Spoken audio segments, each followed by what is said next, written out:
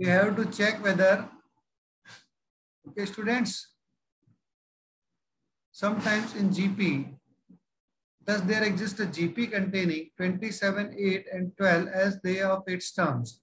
If it exists, how many such progressions are possible? We have to check whether the 27, 8, and 12 are the three terms of a GP or not, for which we will start writing let the pth term of the GP be 27, qth term of the GP be 8,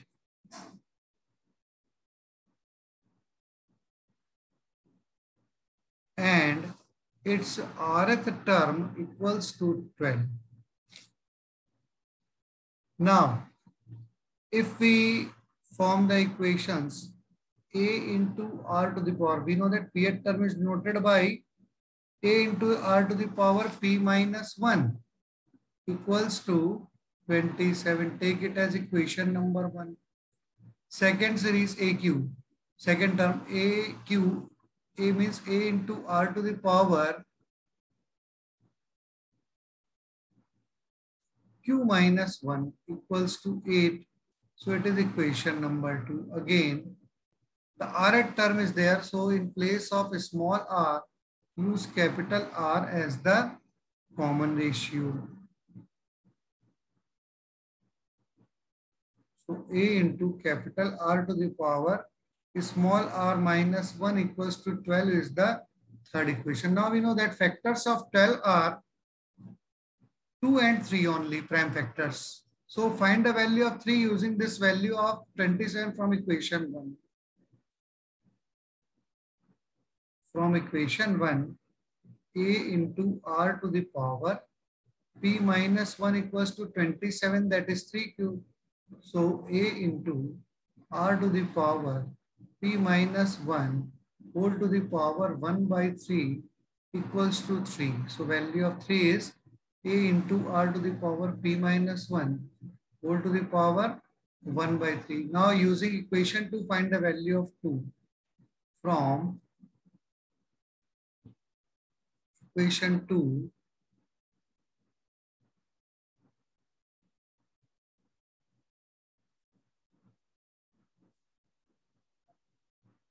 From equation 2, we know that a into r to the power q minus 1 and value of 8 is 2 cube. So value of 2 will be a into r to the power q minus 1 whole to the power 1 by 3. Take it as equation number 5. Now from equation 3, a into r to the power small r minus 1 equals to 12. So if write a into r to the power small r minus 1 and factorize this 12 as 2 square into 3. So it is a into r to the power r minus 1 equals to value of 2 we have obtained as a into r to the power q minus 1 whole to the power 1 by 3 whole square into 3 equals to a into r to the power p minus 1 whole to the power 1 by 3. So it implies a into r to the power r minus 1 equals to, it becomes a into r to the power q minus 1 and whole to the power 1 by 3 whole square means 2 by 3. And it remains the same a to the power 1 by 3 into r to the power p minus 1 upon 3. It implies a into capital R to the power R minus 1 equals to a to the power 2 by 3 into capital R to the power 2 into q minus 1 upon 3 into a to the power 1 by 3 into capital R to the power p minus 1 upon 3. It implies a into capital R to the power R minus 1 equals to powers of a will be added. a to the power 2 by 3 plus 1 by 3 into r to the power powers will be added 2q minus 2 plus p minus 1. Each one has the denominator as 3. So a into r to the power r minus 1 equals to a to the power 3 by 3 will be a into r to the power 2q plus p minus 3 upon 3. So these two a will be cancelled out. It is now r to the power r minus 1 equals to r to the power 2q plus p minus 3 upon 3. Comparing powers, both sides we get r minus 1 equals to 2q plus p minus 3 upon 3. Cross multiplying, we get 3r minus 3 equals to 2, 2 plus p minus 3. 3, 3 will be cancelled out from both sides. So we get 3r equals to 2q plus p. So now we will find some values of p, q and r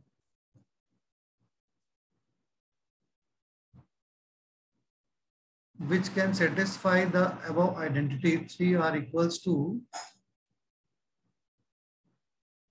2q plus p.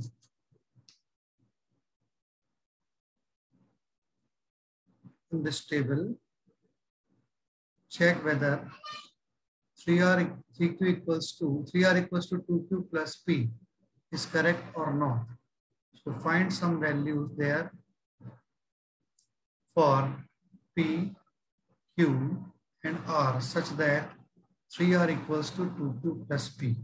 If we take p equals to 1, is there any possibility that there is some value of q which satisfy 3r equals, we cannot take them equal as they are the pth, qth and rth term. So they must be the distinct terms. Only then GP is possible. Two terms cannot be same in a GP. Otherwise, it's not a GP. Okay. So check whether what will be the value of Q. If we take P equals to 1, whether it satisfies it or not for other values of Q. So if we take q equals to 2, total sum is 2 2s are 4 plus 1 5, which is not divisible by 3. So this value of q is not correct. Okay. Now if we take value of p again as 1 and q as 3, whether it will satisfy or not check it. p plus 6, 7. So it is also not divisible by 3 again take the value of P again as 1 and Q as 4.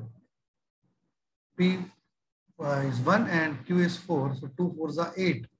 8 plus 1, 9. So value of R can be 3. Okay. So 1, 4, 3 are the values of P, Q and R which is satisfying the relation. Check it now. If you write 3R, so value of 3R in this will be 9. Okay, these two are the wrong values. This is written trial method. And again find 2q. So 2q is 8. Find the value of p. So p is 1. And find the value of 2q plus p. So we are getting 9, which is equal to 3r. So 3r equals to 2q plus p this is the correct value which is satisfying. Yes, so this type of GP is possible. Now, how many such GPs are possible is the next question. It is also asked in the question, how many such progressions are possible? So, all the values of P, Q, and R which satisfy these, we must write. If you multiply all the terms to 2, they will also satisfy. 1 2s are 2, 4 2s are 8, 3 2s are 6, 9 2s are 18. You can check. 3R will be 3 6 18. 2Q is 8 2s are 16. P is same 2 and 16 plus 2 18. So it is also satisfying 3R equals to 2Q plus Q. Again, if we multiply all the values with 3, which we have taken in this. These are the correct value and these are the wrong value. So leave them. If you multiply each value by 3, so infinite such GPs are possible. If P is 3, Q is 12, R is 9, still it will satisfy. So infinite such GPs are possible.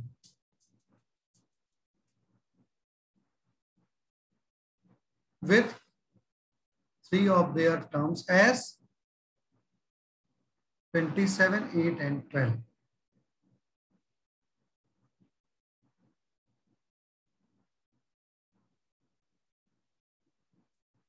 Three terms as 27, 8 and 12.